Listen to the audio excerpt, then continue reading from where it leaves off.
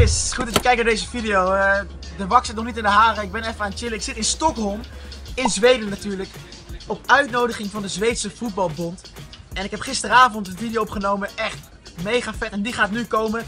En ik speel daarin tegen de halve finalist van het WK van dit jaar. Die jongen, Ivan Lapagne heet hij. Boras Legend, dat is zijn nickname. Die jongen die heeft uh, drie jaar geleden in Las Vegas 140.000 dollar gewonnen met een FIFA-toernooi. Is echt een grote naam in de internationale FIFA-scene. Ik speel tegen hem in het stadion waar dinsdag, dat is morgen denk ik, ja morgen, um, Zweden-Nederland wordt gespeeld. In dat stadion, op het veld, hebben het scherm naar beneden gehaald. Het is 60 vierkante meter. Jullie gaan het zien. Laat me weten wat je ervan vindt. Like deze video eventjes en vergeet je natuurlijk niet te abonneren. FIFA 17 gaan we heel veel mee doen. Komt vanaf deze volgende week als de demo uit is. Dan gooi ik jullie weer helemaal vol met allerlei tutorials en dingetjes. Ik wil weer veel te lang jongens. Uh, check it out. Ik zeg adios, ciao. Geniet van. Doei.